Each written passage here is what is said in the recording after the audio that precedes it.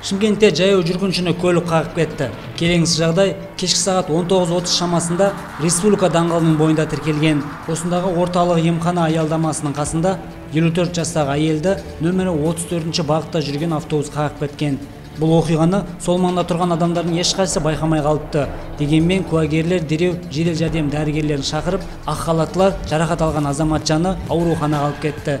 Әзірше оқиғаның қалай болғаны белгісіз. Қазір полиция қызметкерлері мәселенің мән жайын анықтап жатыр.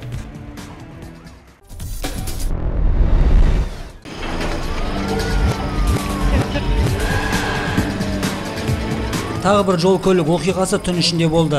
Жібек жолы жетісай тасжолының бойында мерседес және ауди көліктері соғысып қалған. Оқиға кешкі сағат тоғыз жарымдар шамасында осы тасжолдың 189 шақырымында болған. Куәгерлер полиция мен жедел жәрдемге хабар береді.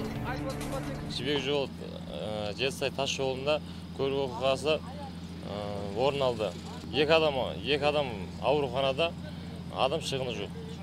Тәртіп сақшыларының айтуынша екі көліктің жүргізушісі жарақат алған. Оларды жедел жәрдем дәрігерлері аудандық ауруханаға алып кетті. Бұған қоса көліктер қатты қираған. Әсіресе ауди көлігі тас талқан болып бүлінді қатты қирағанына қарағанда бұл машина көліктер соғысқаннан кейін аударылып кеткен болуы әбден мүмкін. Абырой болғанда жүргізушілер тірі қалды. Қазір полиция қызметкерлері оқиғаның қалай болғанын анықтау үстінде.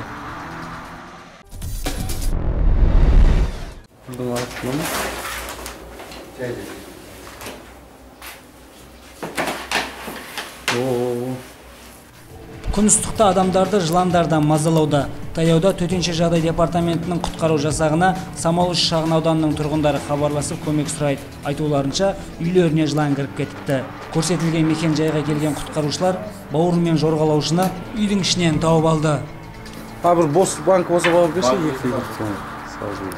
абырой болғанда шақыртусыз келген қонақ үй иелерінің ешқайсысына зиянын тигізіп үлгермеген. Құтқару жасағының мамандары бұл жыланды ыдысқа салып адам аяғы баспайтын жерге алып кетті.